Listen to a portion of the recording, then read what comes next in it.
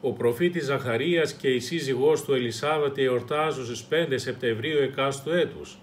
Ο Ζαχαρίας πατέρας του Ιωάννου του Βαπτιστή έζησε στα χρόνια του Ηρώδη, βασιλιά της Ιουδαίας.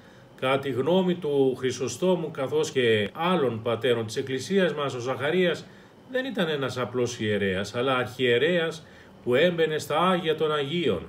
Σύζυγο είχε την Ελισάβετ και δεν είχαν παιδί.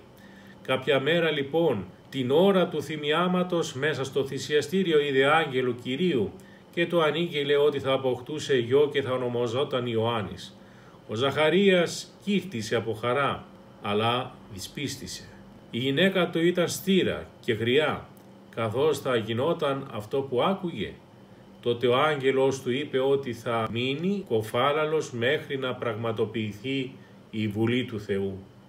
Πράγματι η Ελισάβατ συνέλαβε και έκανε γιο.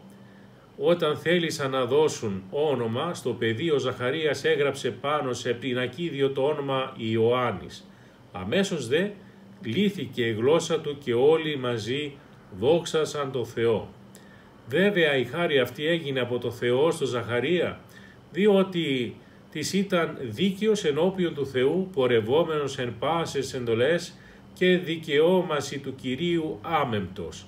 Ήταν δηλαδή δίκαιος μπροστά στο Θεό και ζούσε σύμφωνα με τις εντολές και τα παραγγέλματα του Κυρίου. Άμεμπτος από κάθε ενοχή το απολυτικιών του.